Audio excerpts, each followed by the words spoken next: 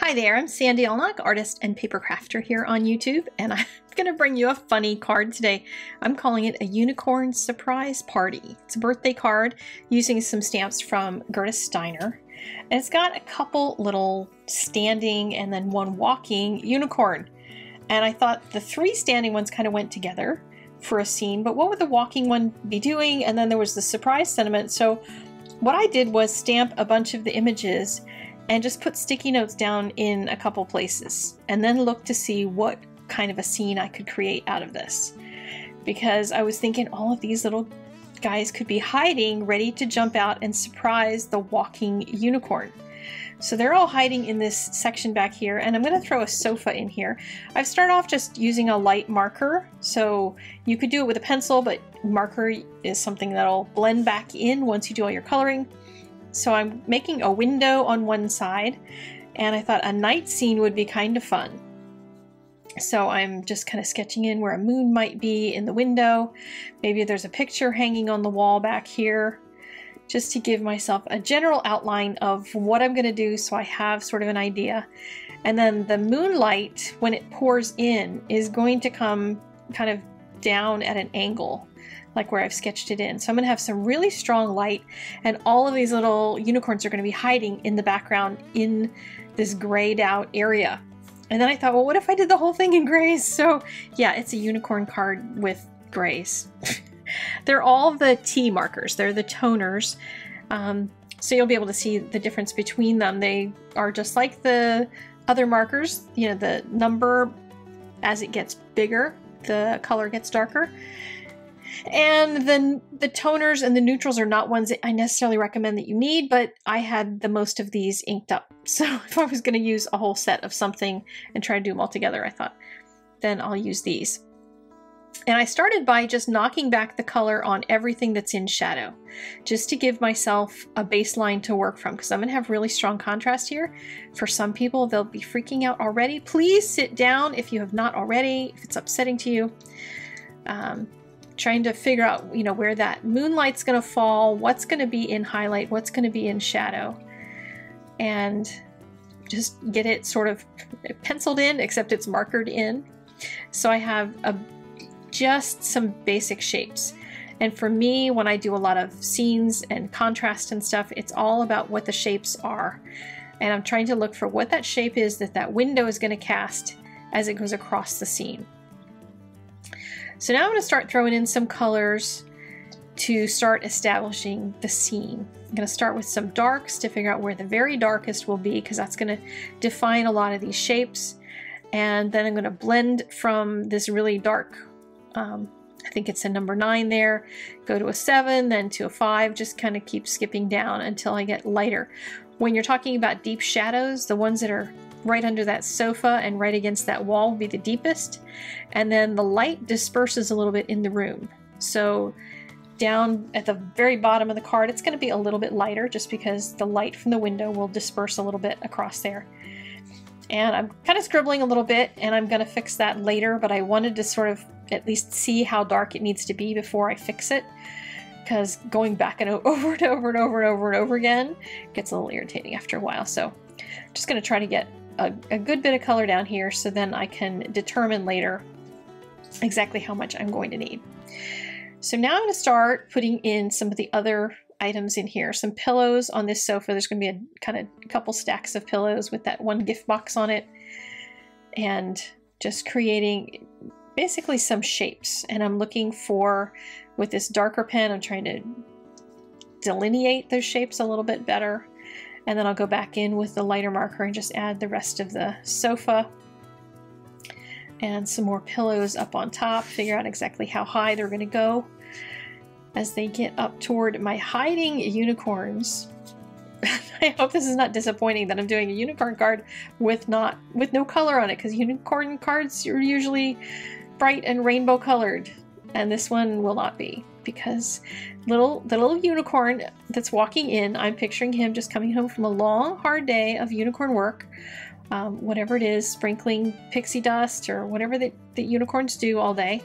He's coming home from a long, hard day at work. It's his birthday. He's not very happy about it being his birthday, but he's trying to be happy. You can see he's got a little bit of a smile on his face, the way his little eyes drawn. He's just coming home. It's late at night. He's been he's had a long hard day.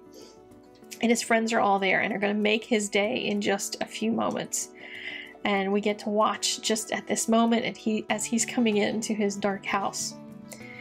Now, if you actually walk around your house in the dark, you'll notice that there are very few colors. You may see a little bit of color as light kind of trickles down onto something. So the the carpet that he's standing on and and the the owner, the birthday boy, birthday unicorn, um, those probably would have a little bit of color in them, but I'm not going to add that in this. I'm just going to let it all be black and white on the card. And but the rest of it, if you notice when you're walking around at night, is you don't see much color. You may see very little, but you really don't see much. So black and white is a really good way to indicate that.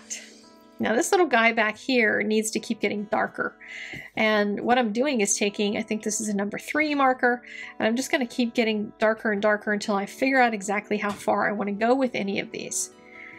And for some folks, this is already too far. but I'm trying to set that contrast. That's why I started with the part underneath of the sofa because I wanted to make sure that that was good and dark and set the tone for everything else because it's going to give me a good idea how how much I can do, how far I can go with the other grays and what's going to make them look like they they all sink into that background because they're all hiding and we want them not to be seen really well. So I'm adding a little bit of reflected light onto some of them, like the second and third one, the, the one on the far left and the one in the middle, may have a little bit of light that might be bouncing around the room and landing on them. The little guy right behind the curtain may not have so much because he's got that curtain maybe shielding him. So then I decided I was going to do something on the wall to make it look like maybe there's wallpaper. Just a little more interesting because long or large areas that are just blank can often feel really boring.